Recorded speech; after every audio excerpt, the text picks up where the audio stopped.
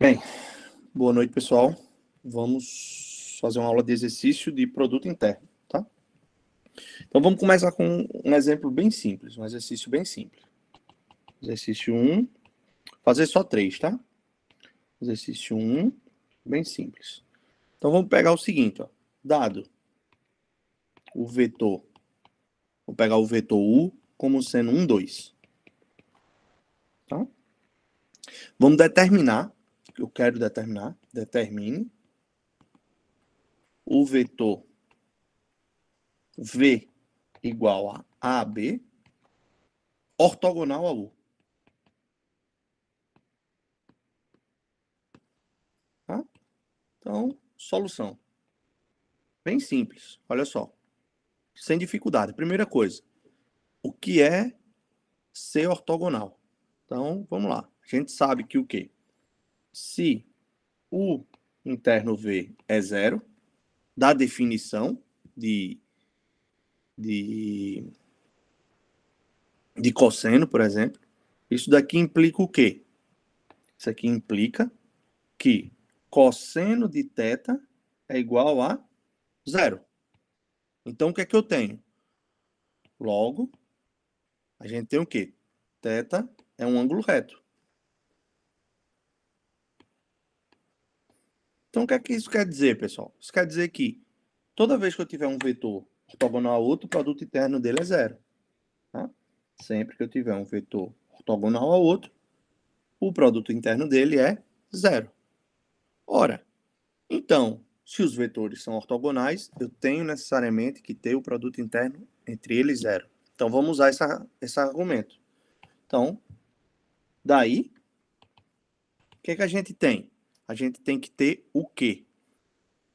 O interno V igual a zero implica dizer o seguinte. Implica dizer o quê? Que é equivalente a dizer que A mais 2b é igual a zero. A pergunta aqui é, tá, qual o produto interno aqui, né, que a gente está usando? Observe que eu disse, dei dois vetores, o V do R2, né, e quero saber se o produto interno, é, se eu posso encontrar um vetor V de tal forma que eles são ortogonais. Então, se eu não falar nada, a gente está usando o produto interno canônico do R2. Lembrem que é um produto interno canônico do R2. Vamos colocar aqui do lado. Então, se eu tenho dois vetores, né? U igual a U1, U2, V igual a V1, V2. Quem é o interno V? É 1 V1 mais o 2 V2. Tá? Se eu não falei nada, então é o produto interno canônico. Se eu falar, se na, nas, na, no problema ele mencionar o produto interno, você tem que usar esse produto interno. Então, tá bom. Então a gente usou, né? Produto interno canônico, 1 vezes A, A, 2 vezes B, 2B. Perfeito. Então, o que é que eu estou concluindo? Eu estou concluindo o seguinte. Isso daqui me garante o quê? Que A é menos 2B. Opa! Então, quem seria meu vetor? Assim, quem é meu vetor? V, que é ortogonal a U. V, que é A, B, nada mais é do que menos 2B, B. Ou seja, qualquer vetor, qualquer múltiplo de quem? De menos 2 e 1. Qualquer múltiplo de menos 2 e 1 é ortogonal a 1, 2. Tá ok? Então, os vetores ortogonais a U são múltiplos de menos 2 e 1. Então, isso termina o problema. Bem simples, tá? se a gente tivesse 3? Fica a dica. Beleza. Vamos agora para o exercício 2, tá? Exercício 2. Exercício 2. Vamos agora brincar um pouquinho de calcular ângulo, tá? Exercício 2. Então, determine determine o interno V e o ângulo entre U e V. Tá? Onde? Tenho que dar os vetores. U é igual a 1, 1, 1. V é igual a menos 2, 0 e 2. Perfeito. Perfeito. Solução. Então a gente lembra, né, que não dei o produto interno. Qual o produto interno? Canônico. Canônico do onde? Do R3. Então, primeira coisa, a gente tem que lembrar produto interno do R3. Quem é o produto interno de dois vetores? U igual a 1, U2, U3 e V igual a V1, V2, V3. Então, o interno V é V1, U1, vou colocar aqui na ordem, 1, V1, mais o 2, V2, mais o 3, V3. Então, a gente vai usar esse produto interno. Não mencionei o produto, então usa esse produto. Beleza. Então, com isso em mãos, vamos fazer, né? Vamos relembrar outra coisa. Então, relembre que... que o que, que a gente precisa relembrar? A gente precisa relembrar que o produto interno, o V, entre dois vetores, pode ser visto como que a norma do vetor U, a norma do vetor V, vezes o cosseno entre U e V. Em outras palavras, cosseno de U e V nada mais é do que o produto interno de U e V sobre a norma de U vezes a norma de V. Se eu tenho esse valor, o arco cujo cosseno dará dá esse valor é o ângulo. Tá bom? Então, beleza. Então, vamos fazer. Então, vamos calcular cada ente, né? Cada ente. É... Perfeito. Eu vou começar da forma mais simples, né? Que seria calculando o produto interno o interno V. Quem é o interno V? Lembra? 1, 1, 1, interno com menos 2, 0 e 2, correto? Menos 2, 0 e 2. Isso é quem? 1 vezes menos 2, 1 vezes 0, 1 vezes 2. Então, o que é que eu tenho? Observe que Daí, o interno V é zero. Opa! O interno V ser zero significa dizer o quê? Significa dizer que os vetores U e V são ortogonais. Ora, se U e V são ortogonais, significa dizer que ainda U e V são per perpendiculares. Certo? Observa, lembra da, do, do, primeiro, do primeiro exercício? Se são perpendiculares, significa dizer que o ângulo entre U e V é igual a 90 graus. Observa que esse foi fácil, tá? Esse foi fácil. Por que foi fácil?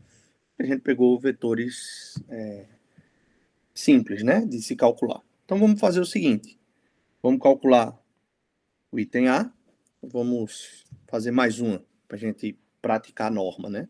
Que não, não deu para a gente praticar aqui porque foi simples. Vamos fazer o item B. Vamos considerar outros dois vetores. Vou pegar o vetor agora sendo o U sendo o mesmo. Vamos pegar um vetor 1, 1, 1. E agora eu vou pegar um vetor W diferente. O vetor W vai ser Deixa eu ver aqui. 8, 2 e menos 4. Tá? 8, 2 e menos 4. Então tá bom. Então quero começar pelo, pelo. Sempre tentem começar pelo vendo se são ortogonais. Se são ortogonais, você já tem um ângulo direto. Tá? Então vamos começar.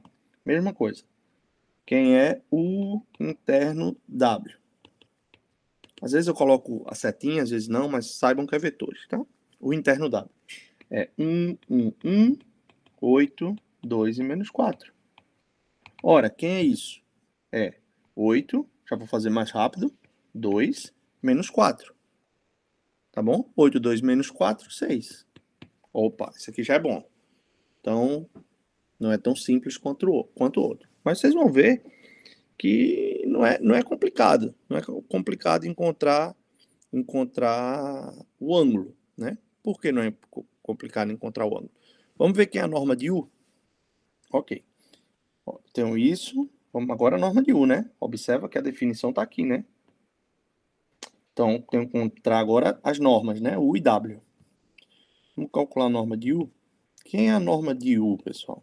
Lembrem que a norma de U é a raiz quadrada de, do quadrado da soma das entradas. Então, se eu pego um vetor, vamos lembrar, 1, 1, U igual a 1, 1, U2, U3, então, a norma de U é a raiz de 1, 1 ao quadrado mais U2 ao quadrado mais U3 ao quadrado. Cuidado, que se erram muito. Se erra muito quando eleva ao quadrado aqui, ó. Se a entrada for negativa, esse número vira positivo. Então, em geral, você faz assim, ó, e faz isso. Cuidado, tá bom? Ou assim e faz isso. Então, se você faz assim, lembra de fazer isso. Que é isso, tá bom? Para não esquecer. Isso é bem comum, ok? De encontrar esse tipo de erro. E aí eu não posso fazer nada, porque é uma falta de atenção muito grande. Então, perfeito. Quem é a norma de 1? 1 ao quadrado, mais 1 ao quadrado, mais 1 ao quadrado. Opa, isso aqui é bacana, né? Raiz de 3. Ótimo. E quem é a norma de W? Esse aqui é 8 ao quadrado, mais 2 ao quadrado, lembra o que eu acabei de falar, tá? Mais menos 4 ao quadrado. Tá? Isso daqui dá, vamos ver, 64 mais 4 mais 16. Perfeito, mais 16. E ainda isso aqui dá quanto? Raiz de 84. Raiz de 84. Certo? Raiz de 84 pode ser escrito como? Pode ser escrito como 4 vezes 21. 4 pode ser escrito como 2 ao quadrado vezes 21. Isso nada mais é do que quem, pessoal? 2 raiz de 21. Perfeito? Então, agora vamos voltar meu, o meu probleminha, que é encontrar o ângulo que é a graça do, do negócio. Daí, o que, é que a gente tem? Quem que a gente quer? Cosseno. Cosseno entre U e W, a gente já sabe, desde as aulas passadas, que isso é U interno W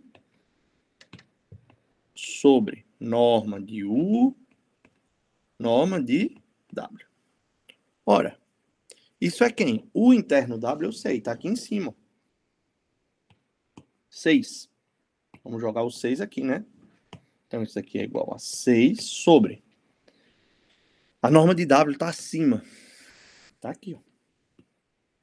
Então é 2 raiz de 21. Ou seja, quem é isso, né? Vezes raiz de. Só para eu esquecendo, tá vendo? Outro erro comum. Norma de U e norma de W. Quem é a norma de U? Raiz de 3. E agora sim, a norma de W é 2, raiz de 21. 2 raiz de 21. Tá? Então, como é que a gente fica? A gente fica exatamente o seguinte. Observa aqui. Você pode parar por aqui, tá bom? Sem nenhum problema. Sem nenhum problema. Mas a gente pode escrever isso melhor, tá?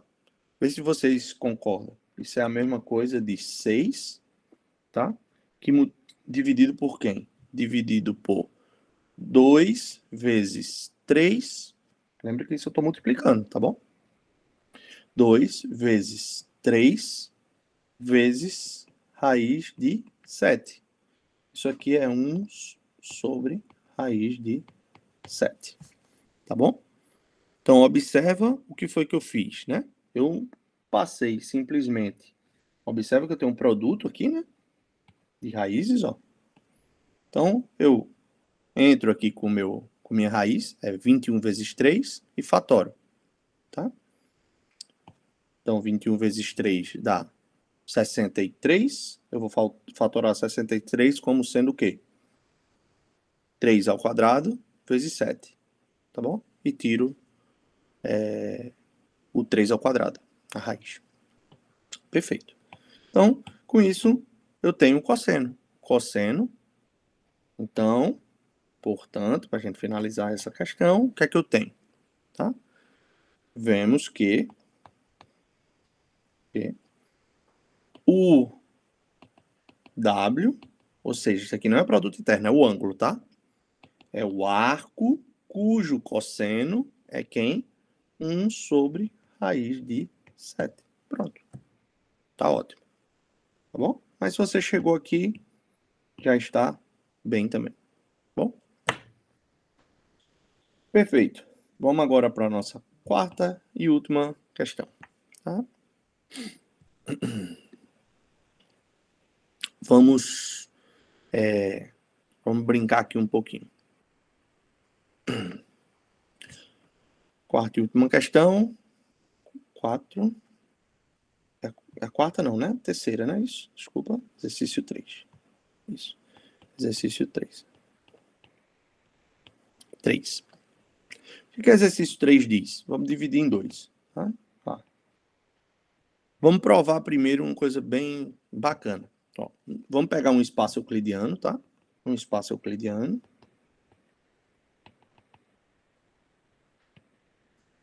Um espaço euclidiano. É, prove que prove que se a norma de um vetor for igual à norma do, de um outro vetor, dois vetores quaisquer, isso significa dizer que o produto interno entre u mais v e u menos v sempre é zero. Tá? Item B. O item B é o seguinte: sejam u e v vetores de um espaço euclidiano. Observe que eu não estou dizendo espaço, tá? São dois vetores quaisquer. Tais que, tais que a norma de U é igual à norma de V, que é igual a 1. E a norma de U menos V é igual a 2 determine norma, opa, produto interno de U com V. Então, dois exercícios bem simples. Vamos lá. Solução. Vou fazer o primeiro aqui. Solução, e tem A. Então, eu tenho um espaço euclidiano, não sei a norma. Tá? Eu não disse que eu estava no R2, não disse que eu estava no R3. Então você não pode chegar aqui e usar o produto interno do R2, pô. Você não sabe. Então você tem que jogar com, com a brincadeira das definições, tá? O que é que a gente quer provar? A gente quer provar que se isso acontece, então temos isso. E caso isso aconteça, então temos isso. Então vamos, vamos mostrar, vamos mostrar se a gente é capaz, né? Quem é U mais V, U menos V? Pela definição. A gente viu isso, né? Isso aqui é U interno U, depois U interno V com menos, menos U interno V. Depois eu tenho mais V interno U, que vem do segundo agora, ó, V interno U, e depois menos V interno V. Menos V interno V. É isso que eu tenho. Ok? Ora, olha só como é que eu vou fazer. Deixa eu juntar o U interno U, certo? E V mais V interno U. Então, perfeito. Vê se vocês concordam comigo. Eu vou fazer o seguinte. Vamos. A gente tá. Lembra que a gente está no espaço euclidiano, estou usando como base aqui o corpo real. Então, eu posso ó, trocar esse produto aqui. V interno U é igual a U interno V. A gente viu isso, é uma das propriedades. Então, isso é U interno U menos U interno V mais V, opa, mais V mais U interno V menos V interno V. Opa, olha só. Isso aqui eu simplifico com isso. Então, o que é que me resta? U interno U menos V interno V. Só que quem é U interno U? Né? O interno U nada mais é do que o quê? A norma de U. V interno V, norma de V, como U é igual a V, isso aqui o que, que a gente conclui? Isso é zero. Então, acabou. Demonstramos o resultado. Então, se a norma de U for igual à norma de V, significa dizer que a norma, produto interno de U mais V, com 1 menos V, é zero. Isso é si, somente si. Tá? Se você vem para cá, você chega aqui. Se você está aqui, você escreve zero dessa forma, você chega aqui. Bom, vamos fazer o item B, para a gente finalizar. Uma linha simples de alguns exemplos ou exercícios. Tá bom. Lembrar, né? Eu tenho dois vetores, quaisquer, no espaço euclidiano qualquer, não estou dizendo que é R1, R2, R3, nada disso. Estou dizendo que são vetores. E tenho três informações primordiais. A norma é 1 dos dois. O vetor é normalizado, tem norma 1. Ou é um vetor normal. Tá? E a diferença deles vale 2. Então tá. Então vamos sair da diferença. Então, quando a gente tem que o produto, a norma do vetor é igual. O que lembra, lembra aqui um pouquinho. Olha como a gente calculou norma. A gente calculou norma o quê? A norma do vetor é a raiz desses rapazes aqui, tá? Desse, no, na questão anterior. Então, se eu pego um vetor qualquer, observa que são as raízes desse, desse rapaz. Ora, quando eu estou no espaço R3, R2, porque eu estou usando o produto interno, tá? Canônico.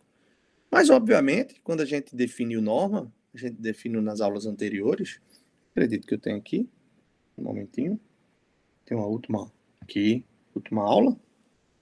Então, observe que quando a gente definiu norma, pessoal, olha só, é a raiz do produto interno. Essa é a norma. Então, vamos pegar isso aqui, né? Relembrar a norma do vetor. Olha o que é. É a raiz. Então, se a norma do vetor é a raiz, vamos lembrar. A norma de V de um vetor no espaço euclidiano qualquer é a raiz. Então, tenho duas informações importantes. Vamos lá. Eu sei que, por um lado, vou pegar aqui um W aqui, né? W. Vou botar aqui W. Norma do vetor qualquer. Então, eu tenho informações importantes. Por quê? Porque eu sei que a norma de U vale 1, e a norma de V vale 1, e a norma de U menos V vale 2. Opa! Então, daí, quem seria a norma de U menos V? Eu sei que isso vale 2. Então, isso aqui vale 2. Ora, se isso vale 2, então isso é equivalente a dizer o quê? Que 4 é igual a U menos V ao quadrado. Só que U menos V ao quadrado, por isso aqui, ó, então, W ao quadrado é quem? É o produto interno de W por W. Opa! Então vamos escrever.